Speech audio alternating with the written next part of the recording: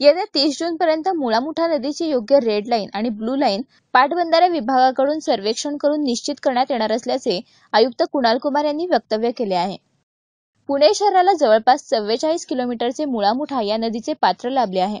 या नदीच्या blue line आणि रेड लाईनचा विषय नेहमीच ऐरणीवर येताना दिसतो. अनेक ठिकाणी ब्लू लाईन ओलांडून नदीच्या काठावर बांधकाम केलेले समोर आले आहे.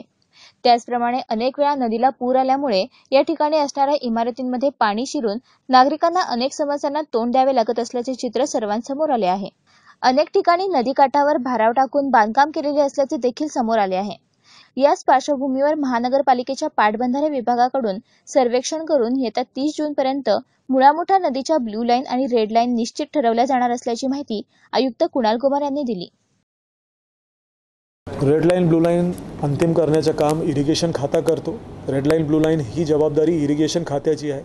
तीस जूनपर्यंत आपल्या डी पीमध्ये इरिगेशन खाता रेड लाईन ब्लू लाईन टाकता येईल. ह्या प्रकारचं काम करून आम्हाला ते उपलब्ध करून देणार आहे. त्यानंतर डी पीवर तो आपल्याला दाखवता येईल.